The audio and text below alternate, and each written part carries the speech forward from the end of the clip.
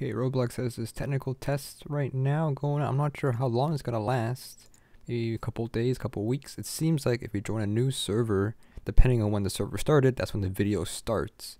So it isn't when it first came out. It probably started for the exact same time for everybody else.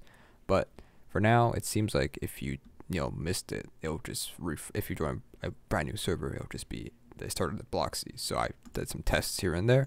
But to actually get the prize, which I'll show in a minute, um, to give us feedback. So you can see here, if you want to toggle the full screen, you can, and it has the volume much louder.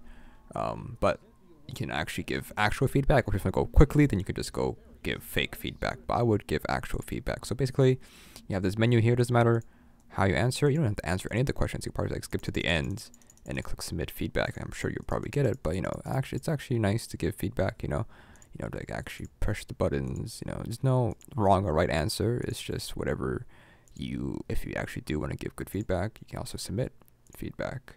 Right. So when you click submit feedback, then you actually get a badge and it'll close and disappears. When it disappears, on the right side you'll see you get a badge. So for example, if we head on over to where uh, what the prize is. So if we go look at the bottom right of my screen, I'll make it we'll make it a little bit bigger. So here, as you can see, this is the actual page. If you don't know, if you're on if it doesn't have it right now, then it's too late. But if you refresh the page, you can see that there's an actual uh, alert here that says what game you need to join. Or if you go to the games page, you can see that it has a actual new uh, tab here, official Roblox test. So you can go here and then you actually have the game here, or it's on the front page as well. So here, if you get this, this is the badge you want, beta tester. As you can see a lot of people have it, over a quarter million have it, and you go click on it. Item owns, then you go back here if you want. That's pretty much the badge there. Just gotta do the feedback, like I said.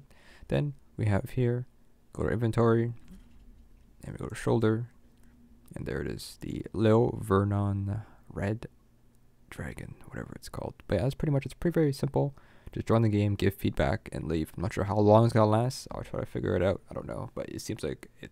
Even if the video ends, it'll re-loop, and you can just rejoin a new server, and it'll pretty much be there. I'm not sure how long. Maybe they announced it. I'm not entirely sure, but that's pretty much it.